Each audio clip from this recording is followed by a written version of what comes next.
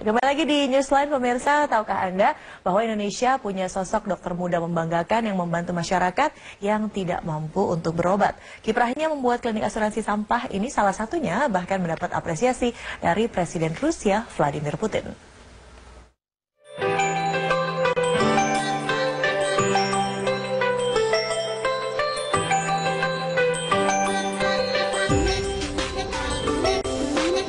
Gamal Albin Said adalah seorang dokter muda dari Malang, Jawa Timur.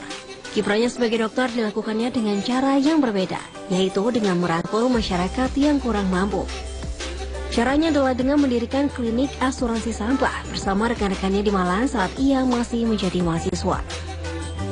Lewat klinik ini, masyarakat yang tak mampu berobat cukup membawa plastik dan kardus untuk dikonversikan menjadi biaya berobat.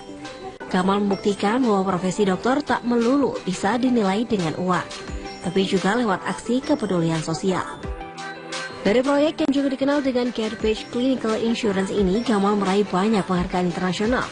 Tahun 2014, Kamal menerima penghargaan Sustainable Living Young Entrepreneur Awards di Inggris, yang penghargaannya diserahkan langsung oleh Pangeran Charles. Beberapa pekan lalu, Gamal juga diundang dalam World Festival for Youth and Student 2017 di Moskow, Rusia. Presiden Rusia Vladimir Putin memuji inovasinya dan memintanya untuk terus mengembangkannya. We believe in one mission, health is fundamental human right. So we want to give healthcare access for everyone in the world. Thank you for the time. Да. Ну, вы занимаетесь одним из важнейших направлений.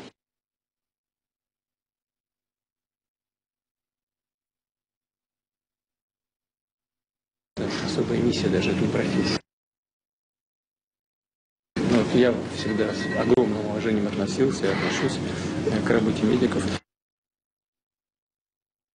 Желаю еще и кроме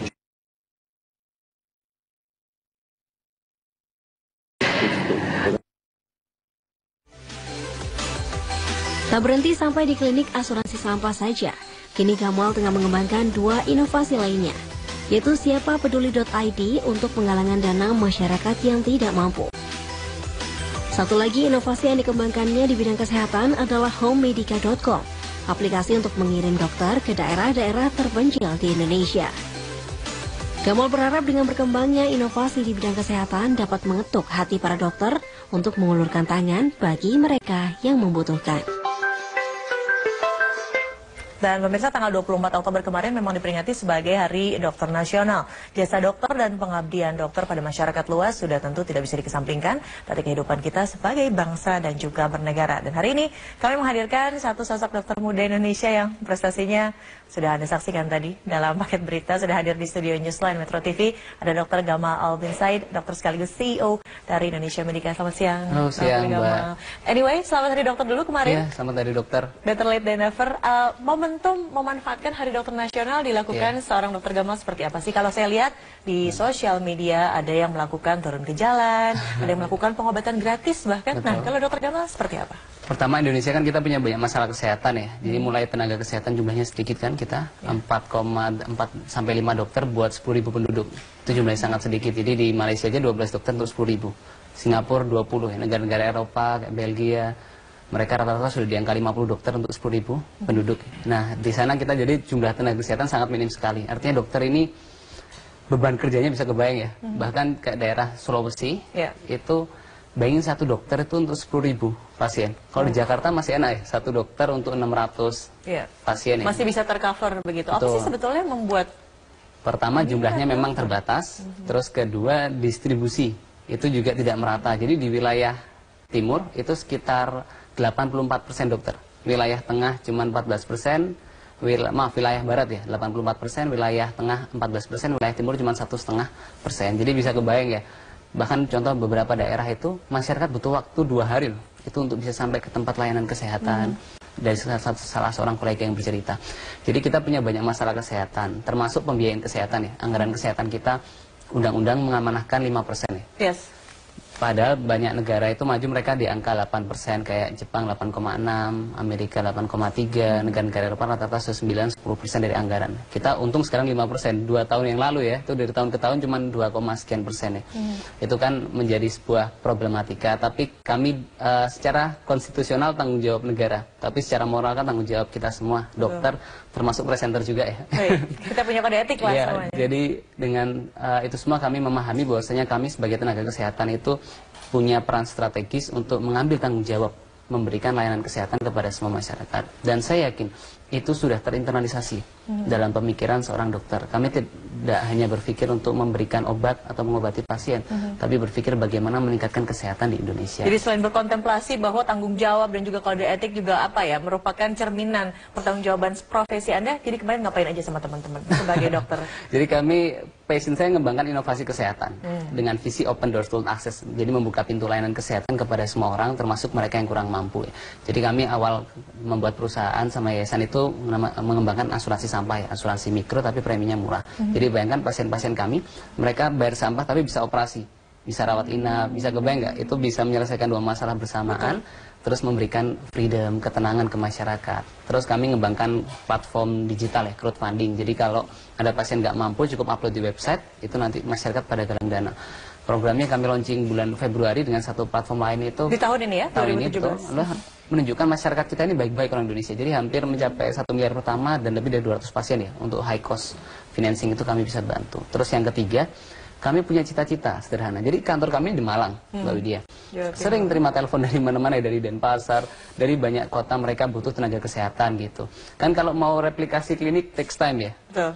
butuh resource waktu tenaga akhirnya kami berpikir buat satu platform eh, di aplikasi mobile itu untuk menghubungkan tenaga kesehatan sama masyarakat jadi bisa pesan dokter perawat bidan ambulans ke Yang biasanya jasanya jasa antar barang mungkin atau makanan Iya. sekarang jasa dokter, dokter. kesehatan. eh, jadi dari situ kami ingin menghadirkan ya tenaga kesehatan di rumah pasien terut- termasuk pasien-pasien yang kurang mampu. Jadi sekarang alhamdulillah 800 mitra medis bergabung ya lebih dari 800 tapi bayangkan nanti kalau ada 10.000 tenaga medis bergabung ya ada bencana di Denpasar di Aceh kami dari kota, kota Malang bisa langsung kirim dokter ke rumahnya. Jadi dari itu semua eh, menunjukkan saya pikir ya banyak eh, tenaga kesehatan di Indonesia itu tidak hanya berpikir soal uang di tangan kan, tapi mereka berpikir soal bagaimana menyelesaikan masalah. Itu juga pesannya Presiden Putin kemarin ya.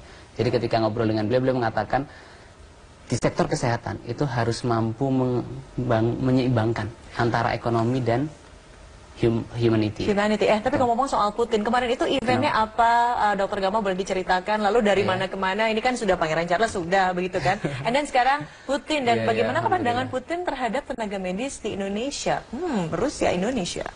Em, pertama sebelum menjawab itu ini mungkin bisa jadi apa motivasi buat saya sendiri dan tim saya ya bahwasanya apa yang kami lakukan kan kecil sederhana mbak kami di kota Malang bukan di Jakarta ya kan kami membuat sebuah inovasi yang itu juga sederhana sekali tapi ternyata banyak pihak internasional mengapresiasi ya mulai kerajaan Inggris dari John Kerry juga pernah uh, sekretaris negara Amerika Serikat mantan ya terus termasuk baru-baru ini dari Presiden Putin nah mungkin pesan saya buat uh, kawan-kawan saya saudara saya kolega saya semuanya yang kita lakukan mungkin kecil sederhana, tapi kalau dengan keikhlasan, kerja keras dan gotong royong ya, Tuhan itu berwenang membesarkan kebaikan kita. Lalu kembali ke pertanyaan tadi ya Iya. soal Pertemuan dengan Iya, Putin. pertemuan Putin ya. Saya belajar banyak hal ya dari beliau. Termasuk kepemimpinannya, lalu juga bagaimana sudut pandang beliau soal kesehatan ya. Nah, dari sana memang eh, yang poin yang paling penting saya pikir untuk mencapai sustainabilitas tadi itu kita tetap harus melihat dua hal tadi, dua pilar utama, kemanusiaan dan ekonomi ya. Kan kita eh, bahkan satu hal yang menarik yang beliau sampaikan soal ekonomi mana yang lebih penting antara pendidikan sama kesehatan menurut Mbak Widya? Eh, kesehatan, kayak kalau nggak sehat nggak bisa mikir jernih nggak sih? Oh iya, betul. Kesehatan Tiba-tiba penting ya. bingung Tapi anggaran kesehatan kita cuma 5%, anggaran pendidikan 20%, 440 triliun kan buat tahun depan untuk pendidikan, kesehatan cuma dapat 110 triliun ya. Bangun tol kita di mana-mana misal. Bisa jadi tolnya sampai ya, tapi selesai dekatnya tol itu ada masyarakat sakit nggak bisa berobat itu kan masalah juga buat kita. Nah dari situ semua saya pikir kita perlu merubah cara pandang kita bahwasanya kita memahami kesehatan ini sebagai prioritas ya azas dalam pembangunan nasional. Lalu kedua eh, mungkin hari dokter saya juga me- berdiskusi dengan banyak pihak di sana dan satu yang menarik soal value ya. Dia mengatakan saya sangat respect dengan profesi yang anda jalani karena itu profesi yang mulia dan itu uh, memberikan sebuah motivasi tersendiri karena contoh kita lihat nama-nama rumah sakit di Indonesia ya rumah sakit Dr. Stomo di Surabaya, hmm. rumah sakit Dr. Sajito. Itu kan uh, bukan hanya sebuah nama rumah sakit, tapi itu kan nama orang yang telah memberikan sebuah dedikasi yang sangat besar, ya. Hmm. Lalu namanya dijadikan nama sebuah rumah sakit. Bisa dibayang nggak kalau cucunya Dr. Sutomo itu datang lagi berobat ke rumah sakit, terus dia ingat dulu kakeknya dipakai namanya nama rumah sakit. Jadi di sana uh, menunjukkan bahwasanya tenaga kesehatan Indonesia itu mendedikasikan pengabdiannya dan dia mendapatkan sebuah apresiasi ya. Dan hmm. itu menjadi pesan buat kita. Life is not about cash ya in your hand ya. Tapi it's about solve social problem. That's about ekonomi. Jadi bukan hanya benefit oriented tapi juga bagaimanakah mengimplementasikan Betul, tanggung jawab di humanity dan juga sosial. Iya. menarik ini yang saya masih banyak ingin menggali dari Siap. anda dokter Gamal. Tidak hanya dokter Gamal ternyata pemirsa sejumlah dokter Indonesia juga memiliki prestasi mendunia dan sukses membuat nama Indonesia harum di kancah internasional. Mulai dari dokter yang dinobatkan sebagai dokter bedah terbaik di Asia hingga menjadi dokter yang mengabdikan diri di pedalaman dan menginspirasi banyak pasang mata.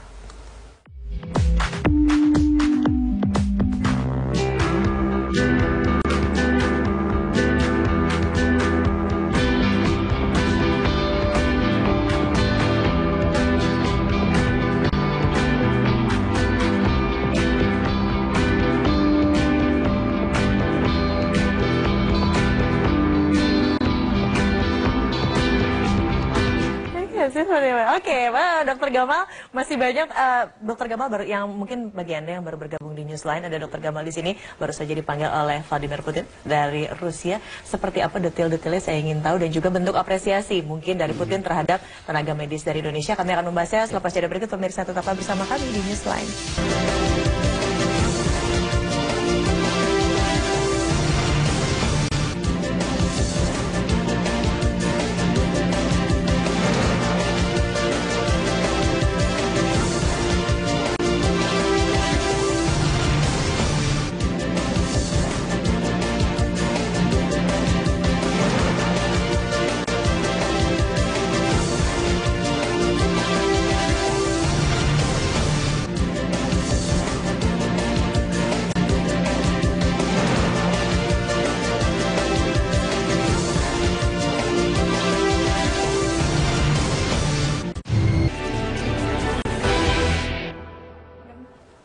Kembali lagi di Newsline, pemirsa berbicara tentang pengabdian dokter sebagai petugas kesehatan. Sudah terhubung juga bersama kami melalui sambungan telepon dari Kabupaten Sorong, Papua. Ada dokter Gigi Syarif Mahmud Maka. Selamat siang, dokter Syarif. Halo, selamat siang.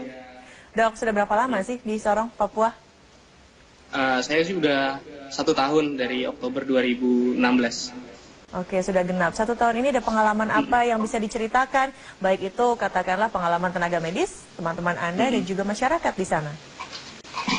Iya, kalau dari kami, kami kan dari tim Nusantara Sehat. Jadi memang hmm. satu tim itu ada beberapa jenis tenaga kesehatan. Cuman kalau untuk dari saya pribadi, saya sebagai dokter gigi sih, kalau untuk kerja di daerah terpencil itu memang masih harus banyak support begitu, terutama dari pemerintah. Karena untuk alat sendiri dan bahan-bahan sendiri, itu kita masih masih belum ada. Jadi uh, sejauh ini satu tahun saya lebih banyak bantu-bantu teman-teman di uh, medis yang lain, contohnya di IGD atau di farmasi gitu gitu sih.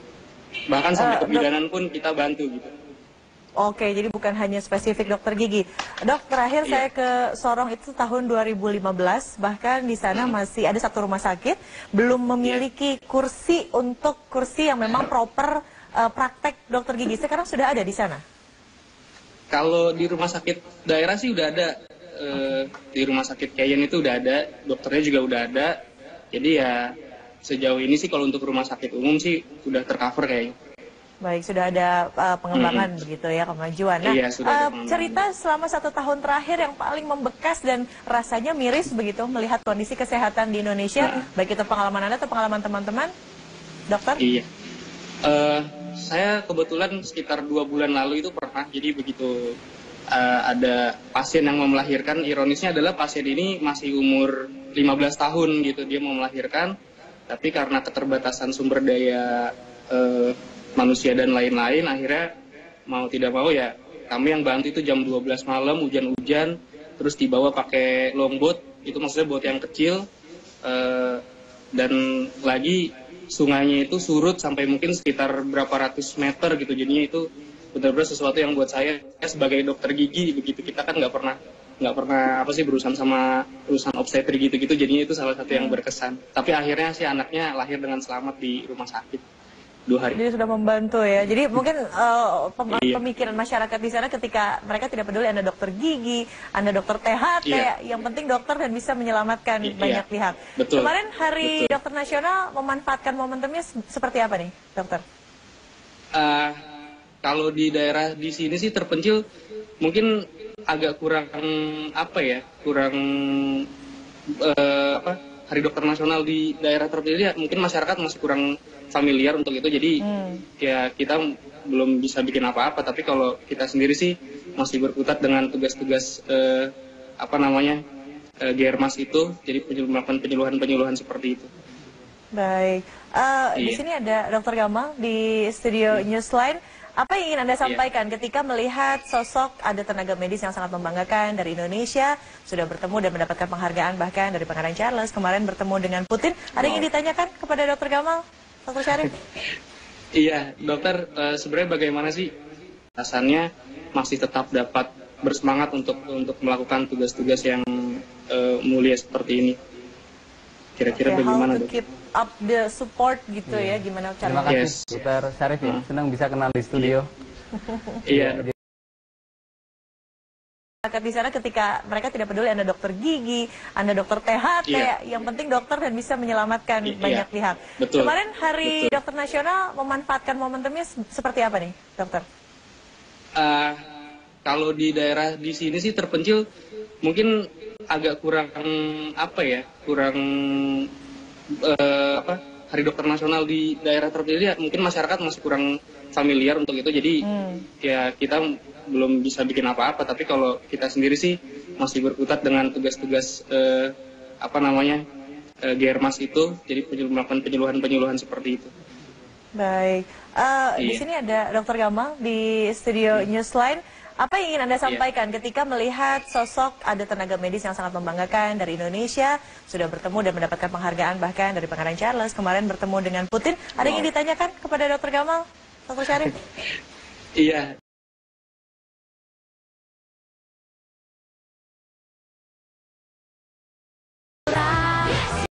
Ya kita apa yang terjadi fasilitas kesehatan untuk sektor kesehatan sebagainya. Ada yang dapat mohon maaf kekerasan fisik. Ditingkatkan gitu, Sosialisasikan begitu ya. Dan semoga bisa menjadi sesuatu yang inspirasi ya untuk Dokter Syarif, Dok. setelah tiga kali penyuluhan iya. Dan semoga bisa menjadi sesuatu yang inspirasi ya untuk Dokter Syarif dok. Terakhir, eh, Anda kan tidak akan mungkin selamanya di sana begitu. Legacy Iya. atau warisan dalam tanda kutip yang ingin Anda tanamkan kepada masyarakat di sana, juga sekaligus mungkin memberikan pesan nih untuk pemerintah. Iya. Mungkin anggaran untuk kesehatan diperbesar atau gimana nih dokter silahkan.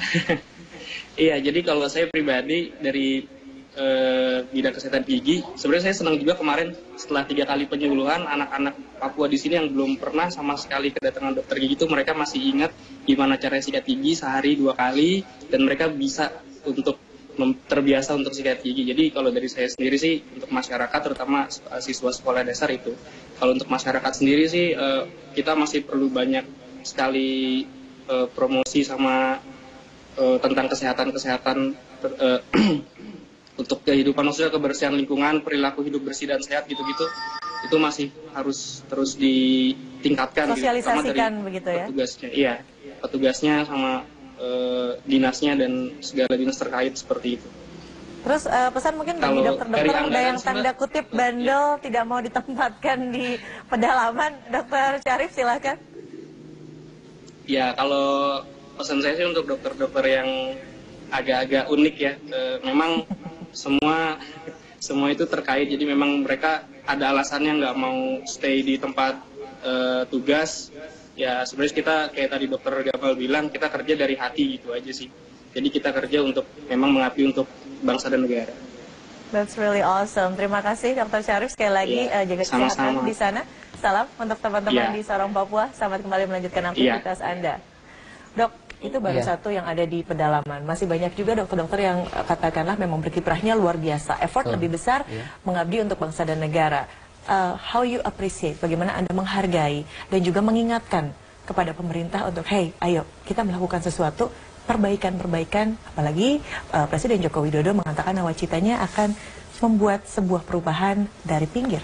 Iya, jadi mungkin pertama eh, dokter itu karena saya merasakan ya sekolahnya itu kami lama sekali.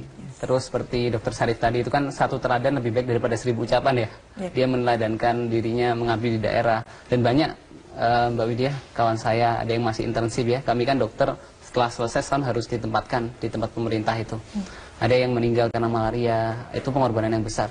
Ada yang sampai kecelakaan dan lain sebagainya. Ada yang dapat mohon maaf kekerasan fisik di tempat terpencil karena miskomunikasi dengan warga dan lain sebagainya. Jadi dokter itu eh, mengorbankan banyak hal ya. Workloadnya berlebih. Beban kerjanya itu, bayangkan ketika saya magang di pemerintah itu satu hari ngadepin 80 pasien kadang-kadang.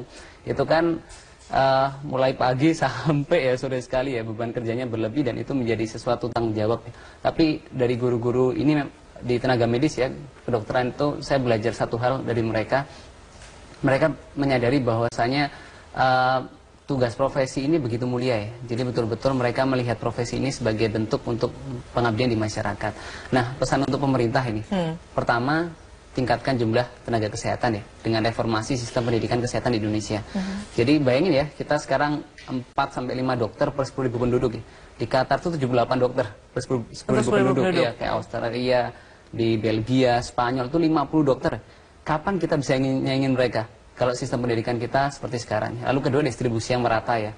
Distribusi yang merata ini juga harus dipahami bagaimana dokter itu men- bisa mengabdi di daerah dengan tetap mendapatkan keamanan, kelayakan dan lain sebagainya. Lalu ketiga soal pembiayaan kesehatan. Ini saya bagi dua hal ya. Pertama masalah APBN ya. Jadi komitmen itu dilihat dari anggaran yang diberikan untuk sektor kesehatan. Tahun ini Human Development Report itu aneh sekali ya melaporkan, melaporkan jadi eh, budget kesehatan Indonesia itu di angka 1,1 persen yang dilaporkan. Terus di sisi lain eh, kita melihat soal BPJS ya. Ini kan banyak Ah, masalah ya. betul. Pernah coba Mbak Widya pakai? Pernah, pernah coba. ya mungkin banyak hal yang kita one step forward sekarang. Kita punya asuransi kesehatan. Tapi asuransi kesehatan itu harus memperhatikan tiga hal. Pertama, sustainabilitas pembiayaan. Lalu kedua, itu coverage yang luas ya. Jadi masyarakat sebanyak mungkin yang bisa mendapatkan dan yang ketiga itu servis yang diberikan itu baik. Masalah pertama soal premi kita. Premi kita 25.000 itu di mata masyarakat masih terlalu tinggi ya walaupun itu rendah sebetulnya. Jadi kemampuan masyarakat itu cuma 17.000, kemauannya 14.000. Saya ketemu dokter di Jerman, preminya mereka 80 euro, bisa kebayang. Jadi karena preminya rendah dan sekarang sekitar 38 persen masyarakat itu nggak bayar premi mbak, preminya macet. Jadi cuma 62 persen yang bayar. Sehingga kita apa yang terjadi? Fasilitas kesehatan terkorbankan Tersendat sana tenaga sini. kesehatan itu juga juga kesejahteraannya eh, terhambat dan lain sebagainya dan banyak sekali problematika yang muncul. Jadi saya pikir penyelesaian pembiayaan kesehatan dan pendidikan kesehatan itu bisa menjadi langkah awal ya bagi kita untuk bisa mewujudkan kesehatan yang berkeadilan di Indonesia. Optimis dalam lima tahun ke depan akan ada perbaikan dari segi kualitas eh, kesehatan di Indonesia. Oh iya, kita contoh dan 25 tahun terakhir aja kita angka harapan hidup, hidup itu meningkat 5,8 ya tahun ya usia harapan hidup kita dengan berbagai upaya yang menunjukkan progresivitas. Tapi kalau katanya Pak Harto itu kan kita harus melakukan percepatan yang akseleratif ya. Jadi betul-betul kita melakukan dukungan dari sisi regulasi kebijakan, lalu juga komitmen dari uh, pelayanan kesehatan. Karena kesehatan penting, Mbak. Kita cerdas apa pun masyarakat kita, ya kan kalau mereka sakit itu kan juga menurunkan kualitas ya. Sakit apa pun ya, sakit gigi aja kita susah kan dan lain sebagainya. Baik, jadi Siap. momentum ini digunakan juga untuk katakanlah dalam tanda kutip mengingatkan begitu untuk pemerintah bahwa kesehatan Betul. is prior dan juga eh, profesi dokter bukan hanya sekedar benefit, orientasi berat tapi juga melakukan kerja dari hati. Iya, kemanusiaan. Jadi saya katakan dokter itu adalah pejalan dalam jalan-jalan kebaikan. Karena jalan kebaikan adalah jalan Tuhan, sehingga jalan dokter itu adalah jalan Tuhan juga ya. Karena mereka memahami profesi ini betul-betul ada tempat mereka mengabdikan dirinya kepada Tuhan. Jangan berhenti karya-karyanya. Ya, istilah big job to do kan? Yes. Termasuk Mbak Widya juga ya. Amin. Jaga kesehatan. Terima kasih dok, itu dia pesan yang paling penting jaga kesehatan. Terima kasih dokter. Kemal sudah hadir di sini berbagi inspirasi bagi pemirsa Newsline dan pemirsa Newsline masih akan kembali selepas jeda berikut untuk kita tetaplah bersama kami.